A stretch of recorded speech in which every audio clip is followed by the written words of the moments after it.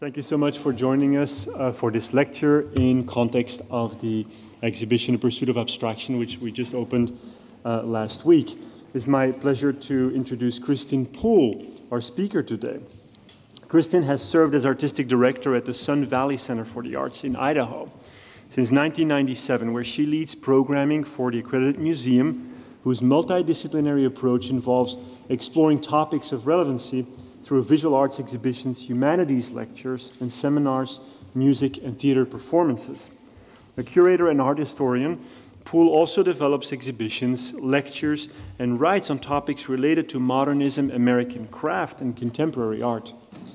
Prior to joining the staff at the Sun Valley Center for the Arts, Poole worked as an independent lecturer, consultant, and art historian.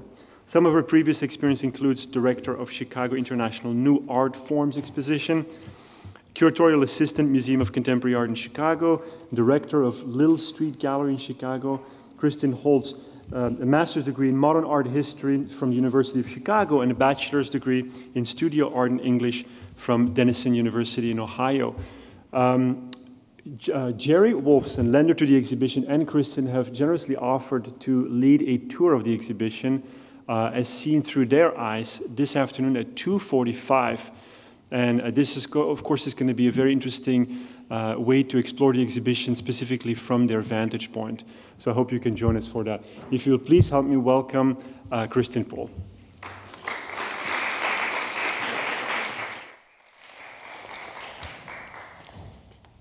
Good morning. This reminds me of going to um, graduate school and having to sit in an art history lecture first thing in the morning. So if you if you all nod off, I, will forgive you. I probably actually won't even see you. So. Um, thank you again for whoever planned the beautiful sunset last night. Um, it was really welcoming. Um, it's such a pleasure to be here um, for so, so many reasons. Um, I need to give you a sort of um, full disclosure, and that is that I know intimately the works in Jerry Wolfson's collection. As many of you are aware, the exhibition that's up at the Baker is a compilation of Jerry Wolfson's collection and her uncle Mickey Wolfson's collection um, that are, is now at the Wolfsonian and FIU in Miami. And if you haven't been there, you must go tomorrow or the next day. It's an extraordinary and very, very unusual museum, and you're lucky to have it in your state. So I encourage you to get there.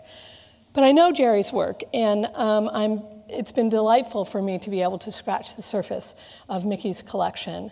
And it's clear um, that these two are related to each other. Um, they share DNA, uh, uh, not only um, blood DNA, but collecting DNA because they both collect in a very unusual way. They collect from their gut and their eye. And you say, well, doesn't everybody collect that way? And the fact of the matter is, no. Very few people collect that way. Many of us collect by wanting and needing the sort of pieces of paper and the approval and provenance and history of artists. Jerry and Mickey don't go about the world that way. They go about looking at art from a place of curiosity and idea based and content based. And so the works in this collection are not a cohesive body of work, they're objects um, that each of these two people have collected based solely on the content of what they see in front of them. Um, it is a very unusual way to look at the world. It's um, what's resulted for both of them is, is really wonderful, very unique collections of art that are honest and true and come from a place of, um, they step into the world with, with curiosity, acute curiosity, and they ask lots and lots of questions. Um, as an art historian, this, this is fascinating but quite difficult because it ends up that there are very few bits of paper.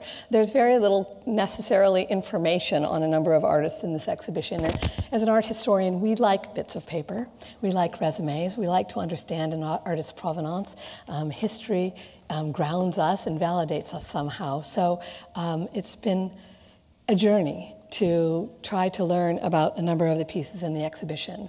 In addition to that, one of the things that makes this exhibition unique is the curator of the exhibition is a man named Matthew Abbess. Abyss? Abbess. I knew I was going to get it wrong.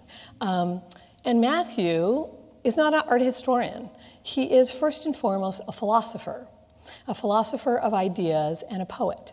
And so he too has assembled a body of work um, that is the content of the exhibition that is based on the material in front of him. It's based on what he sees. He wanted to put together a show that, that really reflected um, an idea, the pursuit of abstraction that he wanted to base the objects on. So when you walk into most museum exhibitions, what you see generally is a body of work by an artist or a group of artists, and you get a breadth and depth of their exposure.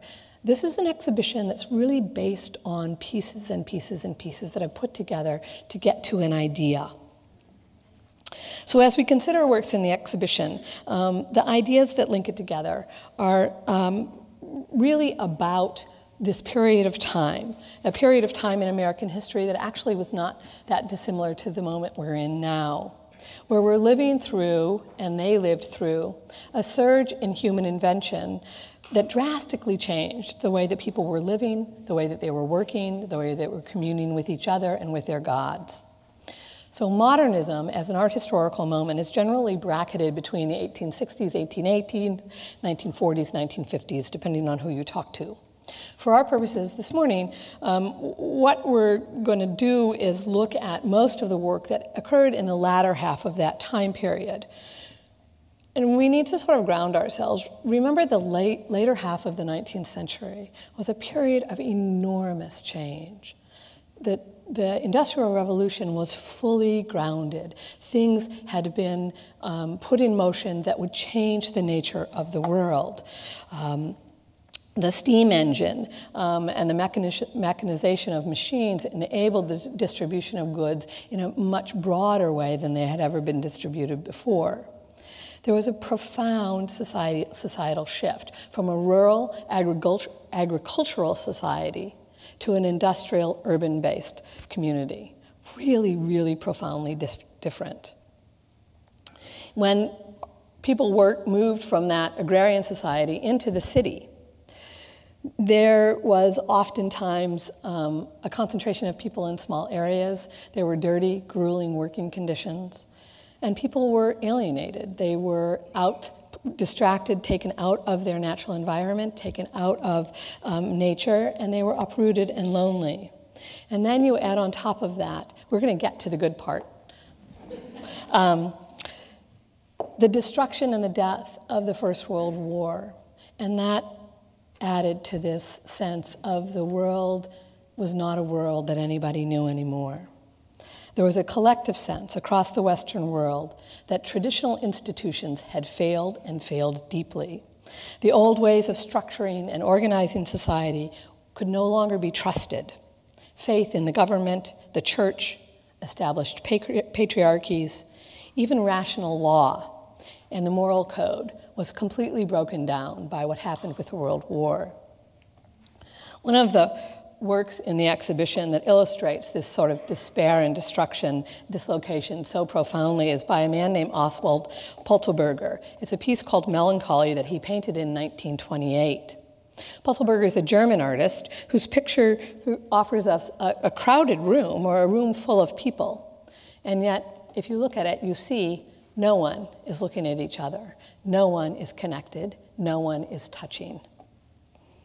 Pötzelberger was interested in using his art to explore the idea of spiritual man isolated in this new age of uncertainty.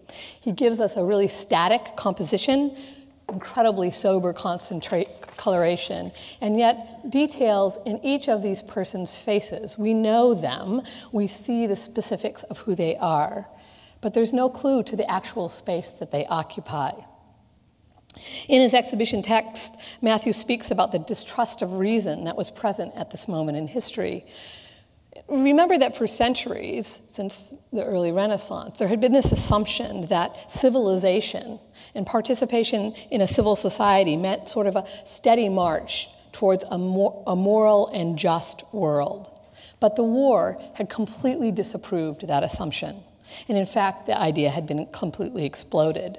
So these new givens of an industrial, rational world were dislocating and disturbing. And for many, many, many people at this moment, um, there was a desire to find a new worth, a greater worth, worth beyond rational thought in the reality of day to day living.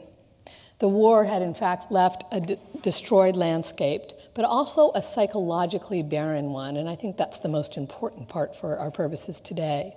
There was a void to be filled, a new hope to be found, and a search for new forms ensued that would form the backbone of what modernism and a new kind of art led to, which includes this sort of path to abstraction. So I show you two images um, of castles. Neither of these are in the exhibition, so I don't want to confuse you and have you off running looking for them. The one on the left is an image by Mary Swanzy. Um, it's called uh, Skyscrapers, and it was done. Um, probably in the early 20s and 30s. The one on the right is, a, an image that I sort of random, randomly plucked from the Wolfsonians um, online collection. And I, and I show them to you intentionally because I want to give you a sense of where we were coming from, um, where we go to and where we come from.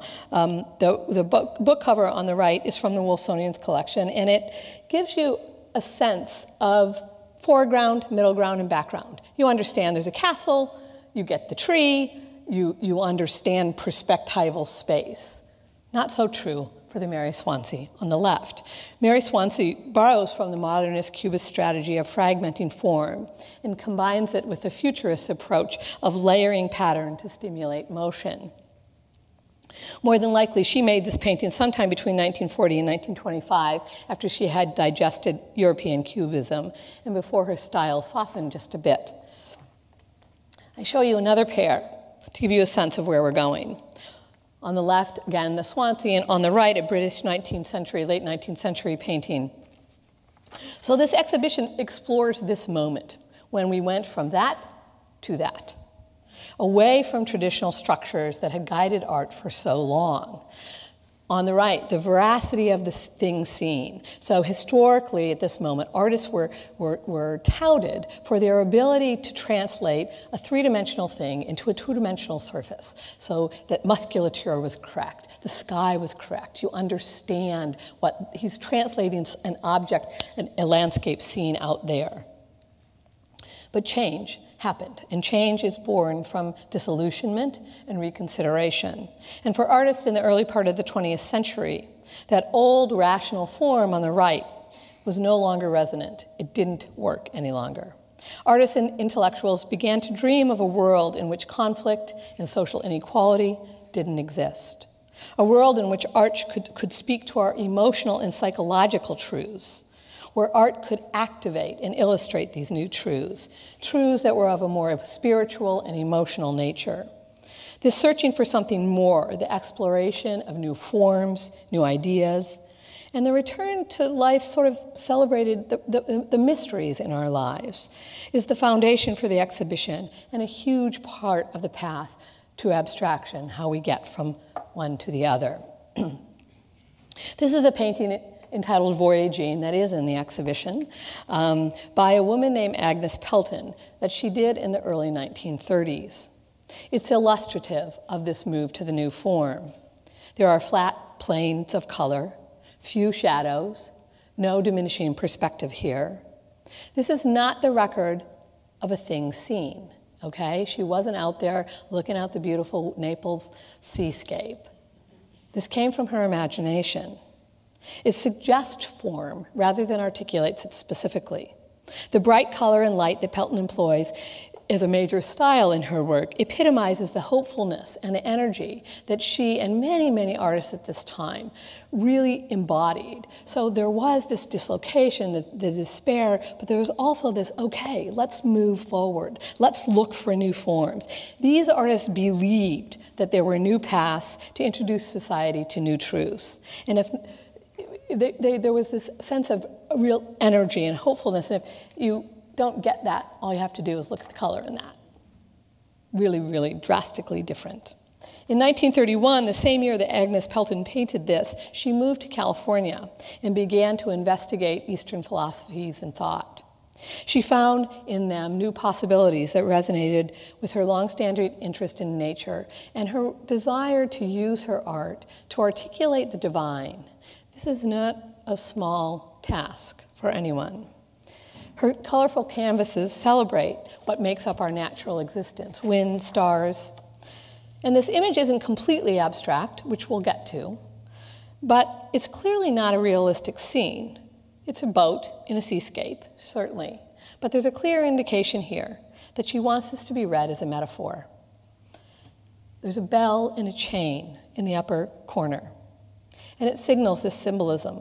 Like many, many artists of her age, Pelton explored ways that abstract pro- properties of sound and motion could be conveyed through a static, two dimensional surface.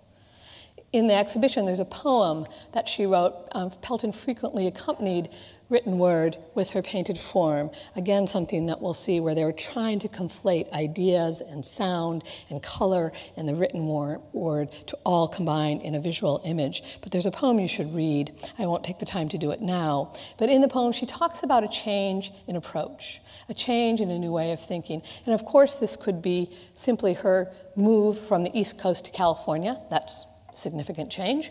Um, but I think it's also a poem about what she was aspiring to do and what artists at this time were aspiring to do, which was to create new ways of thinking. So while modernism was certainly a rejection of old standards, it was also an embrace of the new, newness in all of its possibilities. It was born of tremendous, tremendous hopefulness and a belief that design and art could transform society. But transformation was not going to come from manufactured industrialized goods. So, in response to this manufacture, many of you all know this, the arts and crafts movements took root across the globe. In, every, in almost every different Western society, there were different arts and crafts movements.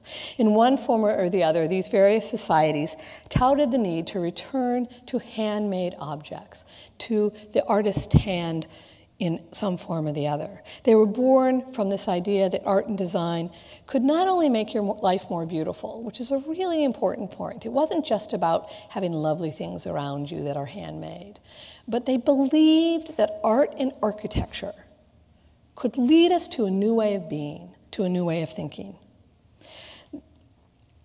Lots of the artists the arts and crafts movement not only had this ideology as its groundwork, but also the sense that nature was a, was, a, was a place of restoration, that nature was a foundation from which this art could sort of grow up. And many of you know about Art Nouveau. This is a piece that was done in that Art Nouveau style that took its um, form from the leaves and the um, curves of, of, of natural form. This is a book page spread that was designed by Henry Van de Velde in 1908, so fairly early into the period of time that we're talking about. And interestingly, it was a book by Friedrich Nietzsche. Nietzsche was um, hugely influential at this period of time, and Van de Velde was among the modernists who was, who was keen on using art to advance social change. He absorbed Nietzsche's writings um, and the writings of many other philosophers at the time. And like others, he believed that art and design could be integrated and should be integrated into all aspects of society.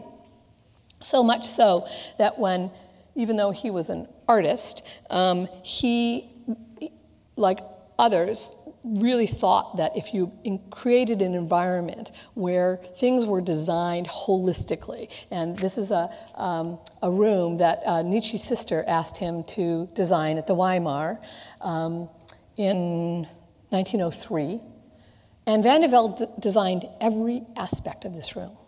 So the curve of the wood, the fireplace, the arc of the windows, the sculpture, even for his own home, he articulated what his wife should wear. Um, so, this idea of sort of comprehensive living was um, a big part of what many arts and crafts period people did. And Nietzsche was interesting for these guys even though Nietzsche was not an anarchist and, and really believed that revolutionaries were foolish people, um, he was attractive to these guys because he rejected all the old values. There was this, he, he also disliked this idea of mass production, of mass mentality, and mass thinking. He was distrustful of Christianity. And even his idea of the Übermensch, a new kind of man, was attractive to people like Van de Velde the avant garde of modernism really clung to Nietzsche. His writings and teachings also reinforced the cult of the individuality that would help fuel modernism's exploration of new forms. Really step back and keep in mind, we live in this age and time, but in the early 20th century, the idea of the individual and not the state or the church or your family or your community, but the individual was a fairly new idea. So Nietzsche's notion of existentialism reinforced the idea that the individual is alienated from a complex world. Other people like Sigmund Freud, of course, encouraged further investigation of the self. Freud's notion that um, both the conscious and the unconscious selves drive us and make are, are factors in our makeup was um, important to many of the painters and artists working at the time. This is a portrait by a man named Henry Bollman. Um, there are a couple of these in the exhibition. Bollman studied at the Kansas City Art Institute and the Art Students League of New York. This was a portrait that was done around 1940. Another one here for those of you who are um, familiar with the American regionalism movement, you can sort of see the curves of American regionalism um, influenced here in Bollman's paintings. But for our purposes today, the fact that Bollman's painting the everyday man and woman, and neither of these people are looking up. Both of them are looking down, introspective, somewhat anxious. The lack of direct gaze um, and the everyman appearance was a really important thing that happened, a shift that happened during this time period. This is no John Singer Sargent portrait of a society lady standing forward in all of her glory and patronage. These are everyday people. Another portrait in the exhibition is a wonderful painting by Elizabeth Catlett that she did in 1943. It's a remarkable painting of a woman at rest. She leans her head in her hand, completely exhausted. Notice the size of her hands. They're larger than her head. That's an indication that she labors with them, that that is the most important part of her body. The cubist squaring off of her blouse, her hat, in the background all illustrate how European modernist stylistic language made its way across the ocean and into American modernist um, skill base. Again, there's no setting here. We don't know where any three of these portraits are. We don't have a sense of are they at home, are they in the library, are they at the kitchen table, are they at work? And that's not important. What's important is the person and their gaze. Only here is the woman isolated and tired. Catlett um, is a woman uh, who is widely celebrated for chronicling the African American female experience in particular. Catlett believed that her job was to convey social messages through her art. So most of her art focuses on subjects like this. And so while there, this sense of isolation was out there and present at this time, it's very interesting that there were a group of artists who were keyed into it and wanted to convey the plight of the individual at this moment in this new age of disillusionment. Simultaneously, many artists turned their attention to a renewed search for meaning. Not surprisingly, many artists turned to nature as a reaffirmation of life's mystery and as a source of divinity. This is a really great painting from the Wolfsonians collection by a man named Hans Frank, painted in 1927. This is how I feel in Idaho a lot of times. Um, you're overwhelmed by nature's majesty. I mean, he's literally bowled over by the beauty that he's confronted with. And in his hand is a crystal. The crystal is nature's pure form of balance and equanimity. There's truth embedded here. The image also speaks to the promise of youth, youth and health. And I was telling Jerry ahead of time that, interestingly, Frank was included in the German art exhibitions in Munich in 1938. Those were the art exhibitions that Hitler approved of. So you can bring lots of things to paintings as you read them. For our purposes, what's interesting here, besides the scene of nature's glory and wonder, is that this painting is painted very realistically. We get a sense of his musculature. We, there aren't, it's not reduced to small, flat planes of color. Um, we, we get a sense of foreground, middle ground, and background. But it's not a specific place. It's not a real moment. But Frank was interested in conveying an idea. Nature became a symbol for hope and power, even for God, force, energy. We see this theme of nature as source of energy and renew- renewal addressed by several artists in the exhibition. This is a painting from Jerry's collection, Adele Watson. It's called Protection, and it was painted in 1920. There are two women naked in a stylized landscape. At first glance, it appears that they are in an, in an embrace. And then as you look further, and it actually took Jerry and, and I a while to see this, they're the same woman. It's the same person, arms wide, in openness, transformation, grace. And it's interesting that Watson's titled the piece Protection. So nature here becomes a source of comfort, an affirmation of the truths that artists were looking for, an imaginary place of renewal and freedom. Like many artists of her time, Adele Watson was an idyllic thinker. Those of you who read and tucked under your bed The Prophet Kahlil Gibran, She was a pal of his. Um, through her art, she wanted to articulate a reality beyond the everyday, beyond the mundane, one which transcended physical ex- ex- existence and had aspirations for something greater. Her own aspirations for spirituality and examination of spirituality led her to um, a lot of Eastern thinking as well. So we hear this pattern over and over again artists who grew up in the West looked east for inspiration at this time because that Western stuff didn't work any longer. Over and over again in the exhibition, we see female forms that are used as symbols of unity, wholeness, and of course, fertility and growth. We were just looking at this. This is the most remarkable little tiny woodcut. Get your face in it when you go in that exhibition. It's a very small piece of art. That's why slideshows really don't they're very deceptive, but um, beautifully, beautifully rendered um, by a man named John Buckland Wright. It's called Girl into Fish, done in 1939. And here, the female form and nature become interchangeable. Um, many artists obviously did that and thought that. Um, here, he explores, the, uses the female form to explore this notion of change and transformation. He was a New Zealander um, who frequently used this idea of a woman in, and placed her in abstractic backgrounds to address spirit and energy. Here you see the woman transforming into a fish, but interestingly, uh, the, the background and the, and the woman herself become kind of separate from each other. In the top left, you see the fin attached to her body. In the bottom right, it's dislocated and part of the background. So everything sort of gets merged and mucked up into one. This is sort of the beginning of this path to abstraction, where there are forms in here we get, but the background and the foreground and the woman and the space behind her all become conflated.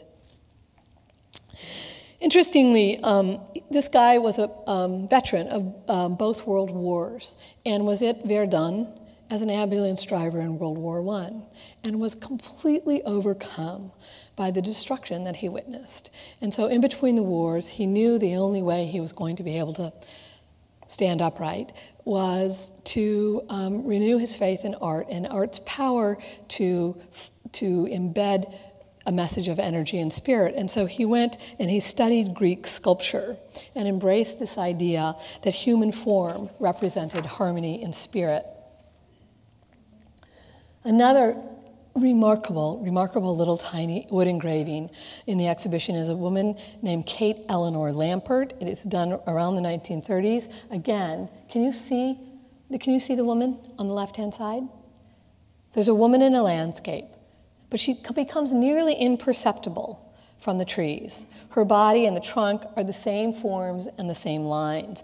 Beams of light penetrate her body and the surrounding light landscape. So light and nature become inspiration and renewal. I love the sort of device of the tree branches framing the image here, um, almost as, as if they were an embrace of the idea. So again, abstraction is creeping its way in. Um, you can barely discern the form here with all of the energy that's going on. This is a fantastic little painting by a woman named Mabel Alvarez called Silent Places. that she did in 1929. Again, a lone woman in a utopian landscape. She offers us a meditative dreamscape of her imagination. This is clearly not a real place. She was another artist who was searching for new forms and new approaches. Around 1918, Alvarez was introduced to Eastern mysticism and began to meditate on a regular basis, which she continued to do throughout her life. In 1924, she took a, a tour of Eastern um, places. She went to Persia, to India, and Tibet, and absorbed not just Eastern ideology, but also the ideas um, embedded in Eastern art. And then in 1920, she returned to California, and by then, the ideas of theosophy societies had made their way to Southern California, and she discovered the writings of a man named Will Levington Comfort whose ideas were rooted in theosophy. And if anybody asks me any questions about theosophy, I will not be able to answer them.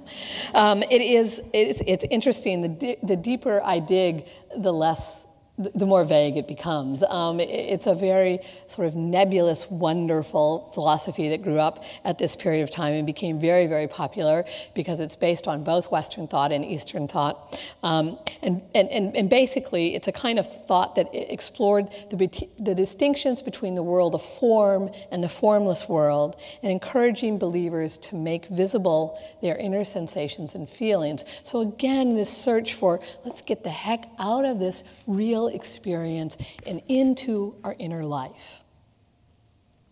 So, this tendency and this belief that this was the, the way of the future um, fed this um, sort of march towards abstraction. Um, one of the tools that Alvarez uses in her tool, toolbox, and many other artists do too, is color.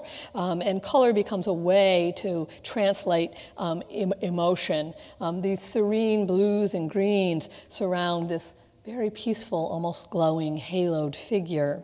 And then there's the fire of the red that is a really lovely balance. A singular female form is also the central image and dream of youth, where Alvarez employs color again as a mechanism to convey her message of peacefulness, these sort of soft greens and really muted light. This was probably Alvarez's most significant painting from this time period. It was done in 25. Um, and, and it's a fabulous painting because it gets at it's an, it's an articulation of, these, of this moment where there were Eastern philosophies and Western philosophies, Eastern religion imagery, Christian religious imagery, and then sort of almost Greek um, classical ideology embedded in here. This painting can be read in multiple, multiple ways. Jerry will read it one way, I traditionally read, read it another. Um, but this dualism present um, is exactly um, what many artists sort of articulated over and over and over again. This is an Arcadian, almost Edenic landscape. It's filled with symbolic forms. There's doves and lotus flowers, they hold equal weight. There's eros up on the top. The doves could be read as bodhisattvas, or they could be Christian doves of peace. She stands as the trunk Many believe it's Alvarez herself.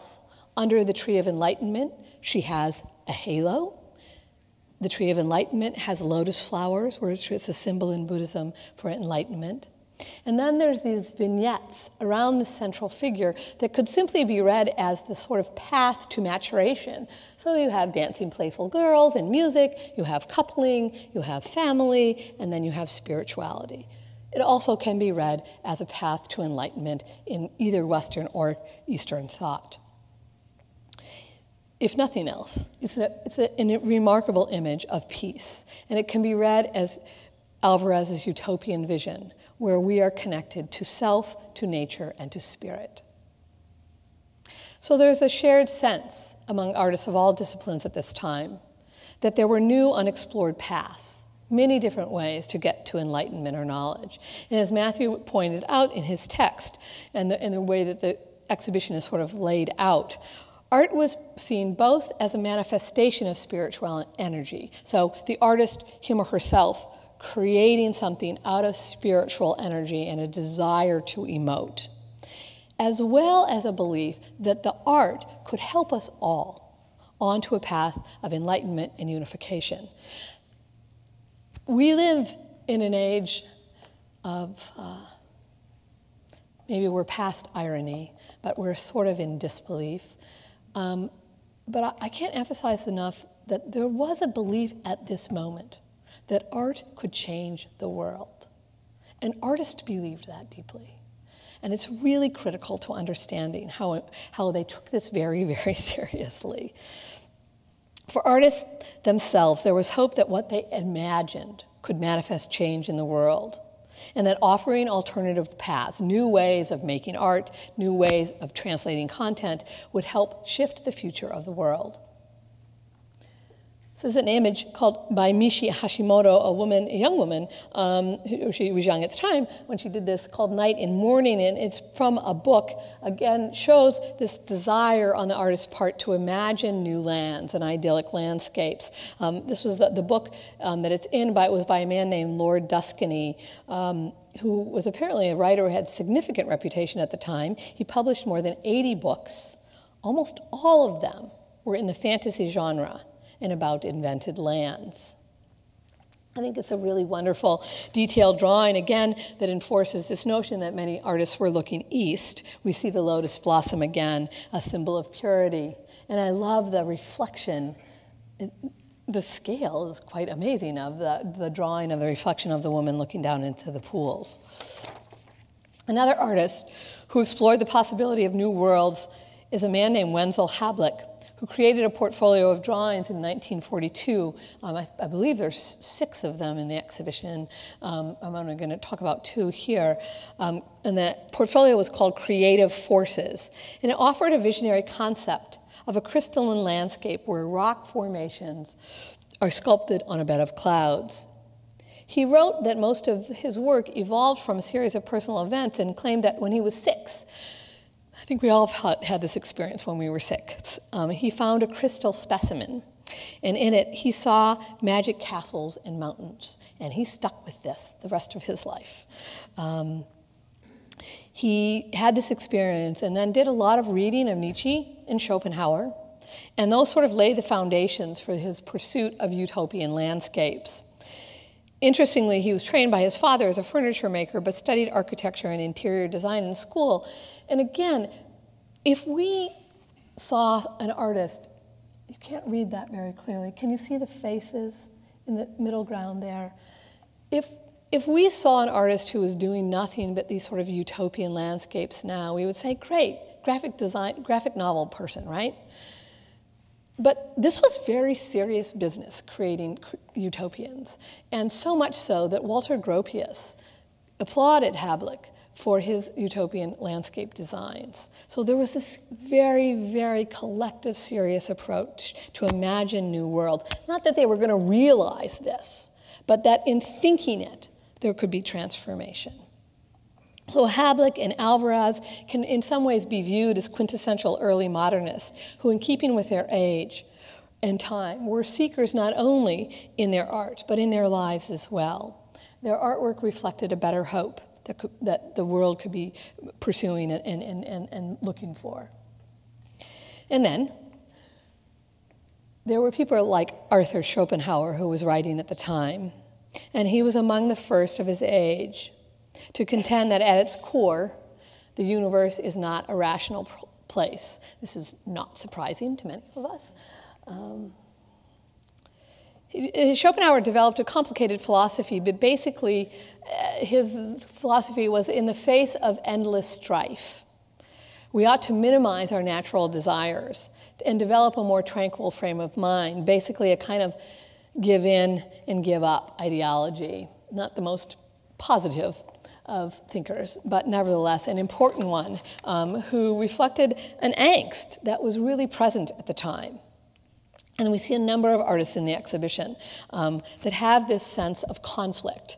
Um, there's there's ideology of old, old ideology, old traditions. There's ideology of new traditions. And, and trying to reconcile these things together was really um, was difficult. And Matthew did a fantastic job of pulling those out of, the, of a number of objects in the, in the exhibition. This is a painting, painting of the Fowler done in 1930-33 by a woman named Gladys Hynes. And it's a really confounding image because you have the three graces. They're perhaps offering a blessing, but they don't seem to be terrifically engaged. And an imaginary seascape, this again is not a real place. And then there's a man who has recently captured his birds and is pulling taut the net. The reference, um, biblical reference to a fowler is from the book of Psalms and goes, Surely God shall deliver thee from the snare of the fowler. So, biblically, that's a message of freedom, right? Through God, you're set free. And yet, this is not an image of freedom, at least I don't read it as such. So, this painting appears to sort of offer a moral, but its message is completely and totally ambiguous. It, and it's, it's an indication of the ambivalence that was present at this moment. Artists were questioning what tradition is, what tradition is valid? What stories can we hold on to? And what should we let go of? In Grover Cole's image, Two Men in a Landscape, done in 1938 and 1940, we see this sort of ambiguity somewhat resolved. It's a really wonderful image an older man and a younger man. And the younger man's pressed forward in the foreground, almost as if he's about to leave the picture plane. The older man is looking at him, hopeful, somewhat resigned. There's an acceptance here of transition, of a new day, a new day coming, a new dawn arising. But then it's in this very weird orange, surreal background with a completely denuded tree. Well, the good news is this young man is walking away from that. So is he escaping? It's unclear. Please note the difference in um, clothing really, really fascinating. Um, the older man in traditional coat and tie, and the younger man in some sort of new age, fantastic metal suit. So, a new age dawning. Interestingly, this picture was shown in the Golden Gate International Exhibition in 39, obviously an image projecting the future. Other otherworldly images that demonstrate artists' desire to explore landscapes outside of reality are presented by two paintings um, from Jerry Wolfson's collection. These are a woman, by a woman named Helen Lundeberg. This is called Fantasy. It was painted in the late 1940s. These works come out of the tradition of surrealism, and remember, surrealism was where artists juxtaposed unlike images in fantastic settings to explore the sort of dreamlike or unconscious state, so a new reality. But Lundeberg did not really subscribe um, to the randomness and the disorderly structure of the surrealists, but embraced the sort of liberation in that ideology, and she and her husband called themselves post surrealists. These images are whole compositions, so they're not the René Magritte's sort of dissemblage of objects, but whole compositions to be read as landscapes. But there are no no landscapes that I have ever seen. They're a moonlight place where rocks and shadows loom large, and the tree is leafless. This image reminds me of that Close Encounters of the Third Kind, where that rock looms up and you're supposed to pay homage. That tree just looks terrified in, in the light of that shadow of the rock. Um, these landscapes are without human inhabitants. They're alien and mysterious. Again, we see not straight realism, but a desire to use the tools of realism, so accurate perspectival painting. There's actually a foreground, a middle ground, and a background here, and shadows. Um, but it's, to, it's used to explore this sort of new imagined landscape and to explore emotions and states of mind, new and important states of mind that the surrealists were also exploring. This is a small wood engraving in the exhibition um, by Lynd Ward, um, and it was done for a book from 1932, importantly titled Now That the Gods Are Dead. So, again, this transition. The old form wasn't working. And it's, a, it's actually an incredibly hopeful image. Man's triumph in the face of a ruinous post war landscape Notice these sort of broken columns, classic columns in the foreground. The old form is down, but man will ascend and is illuminated by rays of light, reborn and strong. So we've seen repeatedly this impulse at the moment was to find a new language and a way to pick the intangibles of life the emotional states that we live in, our sources of inspiration and energy. Attempting to show energy in metaphysical form became the work of a number of artists that Matthew put together um, who are seeking explanations beyond science to affirm the mystery that we all have together. This is a, the frontispiece of the exhibition and the, and the entry piece that you see um, appropriately. Um, it's uh, by a man named Sex, Sexto Canegallo, and it's entitled Social Energy, and it was done in the 1920s. Canegallo's image suggests our desire for harmony can be found in the combined force of mind, body, and spirit. On the left is a man holding his head in his or chin in his hand, thinking, thinking man. On the right, a man proud, standing on his feet in his body, his physical body. And in the center is a woman, the female form under a star of light, as the fertile energy and the source of balance in the middle. This is a really radical painting for 1920 um, this oval geometry of form is an introduction in form that is new. The rays of light that are used to talk about energy and that are sort of generating through the painting that create some movement in the painting. This is familiar to us now. This was not familiar in the 1920s. These people aren't situated anywhere real. They're not even on a real plane together. So it's not a realistic scene, it's a, it's a total abstraction and an attempt to show energy and transformation. These were really radically new ideas. He also uses color, as do a lot of uh, the artists in the exhibition, to sort of give us this sense of pulsating light, going from dark to light and energy in the middle. Another artist who uses similar styles of movement and energy and color is a man named Vincento Bono, who um, did a whole series of letterpress print, prints in the exhibition. These series of images have titles that link them both to Christian and to Buddhist traditions. This is Om Mani Padme Hum, which is obviously an Eastern way of yoga, yoga, yogatic, yogatic breath. I don't know how you say that. Breath with yoga. Um, and this is a piece called Divine Breath. Obviously, these are aligned with Eastern meditative traditions. The divine breath sort of swirls out there. Lines are used to portray motion of light and air.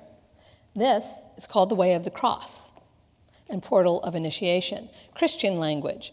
But there's no obvious Christian imagery in here. There's actually no cross in there sort of suggestion of one, but not entirely a cross. Again, this crossover exploration, not entirely symbols of one faith, but a willingness to explore opportunities picked from each of these traditions. The triangle is a shape that we see that Vince Bono uses over and over again, and the triangle is one of those shapes, like a circle, that is used across traditions and is a central motif in each of these pictures. It's a sign of the balance that we're seeking and talking about in this exhibition, oops, sorry, um, of mind, body, and spirit. And also signals aspiration and resurgence. I suspect if I had just shown you those images, you all would get that there was some um, religious iconography embedded here. We just sort of instinctively understand that. So, the desire to find new forms was a foundational tenet of modernism. Realism was perceived as bound up in the rationalization that had created the despair of the war. The move to total, to total, abstraction was propelled by so many things, and if you guys want to stay here a really long time today, we can talk about all those things. But um, one of the things that um, was a propulsion to abstraction was the desire to be honest about structure and form. Fueled in part by the arts and crafts ideology that form should follow function, artists explored how to break objects apart into geometric elements and reduce things down to their simplest form. This idea of reduction began, of course, with the Cubists and took lots of different paths. Um, in, in, for this image, this is a woman um, uh, designer by, named Ilse Fehling, and this is a maquette drawing that she did um, for a marionette, a marionette play, play um, where the human form is translated through basic geometric shapes. I think you guys can see head, torso, and legs here in these forms.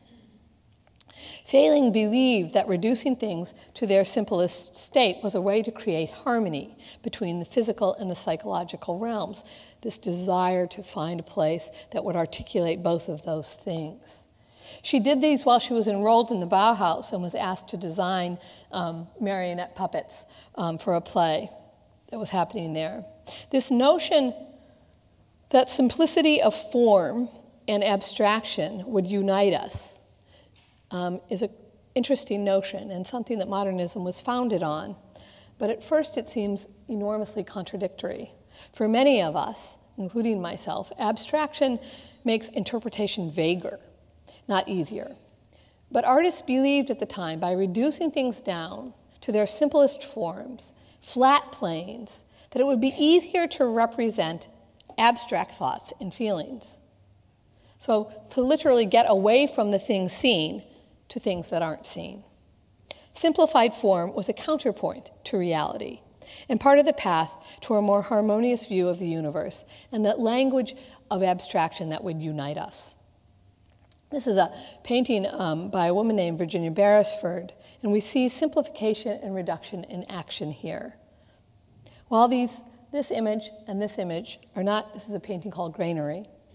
While these are not entirely abstracted images, they are far from traditional landscapes. They are suggestions rather than depictions, evoking sensations and perhaps some mystery instead of clearly depicting a thing seen. As was the case for many artists of the time, Berresford experimented with a whole variety of styles and approaches in her work in her lifetime. The shell work um, shows the influence of magic realism, an offshoot of surrealism, which actually came to the United States after the war. Um, René de Magritte and Roy de Chirico came to the United States, fled Europe, um, and this idea of magic realism and, and, creating paintings that were not based in dream imagery of the surrealists, but on a kind of distorted realism. Um, took root, um, and you would transform ordinary landscapes into, into fantastic scenes. In this painting, um, a curtain of shells sort of unfolds and opens up into a seascape. There are flat, dense sections of color, and again, very simple forms. Those of you who are familiar with um, the paintings of Arthur Dove or Georgia O'Keeffe, this becomes a language of American modernism that, that permeated for a long period of time. And I love the granary, being a Midwestern girl this sort of enormous giant breast emerging out of the flat plains of the American Midwest. It's simple, it's bold, it's aspirational, this sort of spiral upward. Another American modernist that used simple geometric forms is Ida O'Keeffe. This is a series of paintings on lighthouses that she did called the Highland Lighthouse series. And in it, we see the motion of light captured in these sort of dense triangles and ribbons of color. This calls to mind uh, um, a theory that many uh, painters embraced at the time called dynamic symmetry, uh, which was an influential concept that linked art and mathematics, um, and it was a way to try to get artists to translate motion through form, um, and took its um, roots from organic patternings found in nature. Um, there's these sort of implied motion. Um, I love the arc that goes around the far side of the lighthouse and that ends up on the roof. Really, really smart way of thinking about how to, how to convey motion and light. Another lighthouse by Ida O'Keeffe. Ida O'Keeffe's story is another story, but an interesting one. She is, in fact, the sister of Georgia. Another extraordinary painter in Jerry's collection is an Irish woman that we talked about at the beginning, um, Mary Swanzy, whose work we saw early on in the, in the talk. Um, this image is called Propellers, and we see similar abstract strategies at work here. The perspective of this painting is really quite marvelous. The we're down in the sea where the propellers are coming towards us or actually going away from us. Dynamic color, flat geometric shapes, and yet the crossing of those geometric shapes gives us a sense of motion. Many modernists approached abstraction and the quest for spiritual resonance through their use of color. We saw that in Mabel Alvarez and in Agnes Pelton's painting Voyaging. Some artists even went so far as to believe that colors had their own distinct relationship to sound. The idea that color could convey sound fitted with the spirit of this age, when artists were realizing, were seeking ways to realize new synthetic experiences where art and the material distinctions between word, image, sound would kind of melt away in a, in a sort of mm, spiritual abstraction aha moment, that all of these elements could come together. This image um, is by a woman named Dorothy Brett. It's called Stokowski Symphony, 1934. And in it, she attempts to convey through color and light the idea of a musical experience, which would be an ambitious project for anyone, but was particularly ambitious for Brett because she was deaf. And so the only opportunity that she had to understand music was through her imagination. Stokowski was a British conductor who had a long, long, long association with the Philadelphia Orchestra. But Brett met him in Taos, New Mexico. Taos, New Mexico becomes this place very similar to um, um, Stein and Toklas's place in Paris, a salon. A woman named Mabel du- Dodge Luhan um, sort of collected artists and thinkers, people like D.H. Lawrence and O'Keeffe and Stieglitz and Dorothy Brett. Spent time um, in, in, in New Mexico. And it was there that she met Stokowski and ended up following him back east and doing a whole series of 11 paintings chronicling the way she imagined a symphony would sound. This image is, um, I, I surprisingly ended up landing on it um, because she, it, it's, it's not a very good painting. But, but and, and she's not a very well known artist. But it's, capti- it's captivating me because I think it embodies the hope felt by so many artists of this time. This desire to push past and through reality and find a better way to express our better selves and our shared divinity with this sort of naive and hugely wonderful assumption that art could help us be better people. This belief that not only content, but the form of a painting could propel a shift in our state of mind and release a common shared emotional resonance was really the foundation of modernism. And when you think about it, it worked. It wasn't that far fetched. Many of you are familiar with the work of Franz Kline and Jackson Pollock, okay? Pure abstractionists, huge arcs of black and white, and Pollock swirls. These are completely abstract paintings, and you think, what the heck were they thinking? They were emoting onto the canvas. And they were big machismo guys, and they were talking about themselves, and they were talking about America in the 1950s, and they were talking about the atom bomb. That sort of chaos comes through in those abstractions. This painting to me, when you think about a symphony and you think about music, and you're in a great musical experience, and music sort of absorbs the room and it sends you. That's what she's captured here. And it's really quite remarkable. So I like her. Um, they had something, these modernists. In releasing themselves of the restricted forms of the past, they opened themselves up and their audience to the possibility of shared psychological and emotional and spiritual states. So I want to end where I began with a woman named Agnes Pelton, who I think is the artist in Jerry's collection who, most, who most clearly resonates with the theme and the content of Matthew Abbate's proposition in this exhibition. For Agnes Pelton, the pursuit of abstraction meant the freedom to explore forms that would unleash and illustrate the positive force that she believed was at work in nature and in the universe. Interestingly, I didn't realize this until I started to write. She was an artist whose life was actually bracketed by modernism. She was born in 1881 and she died in 1961, so she lived the experience. She was traditionally trained and actually earned her living almost all of her life by painting realistic portraits. But like so many others of her time, she was compelled to use her art as a mechanism for exploring other realities and more complicated truths of our human experience.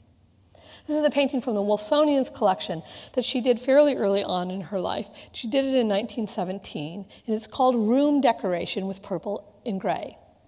It was done for a parlor in Washington, D.C. There's a classic Madonna, central female form again but it's around the edges where we see Pelton's abstract images begin impulses begin to emerge. There's clearly, this is not a specific place, but an imaginary one, where the fe female figure is framed by curves, curving planes of light and by luminous flowers.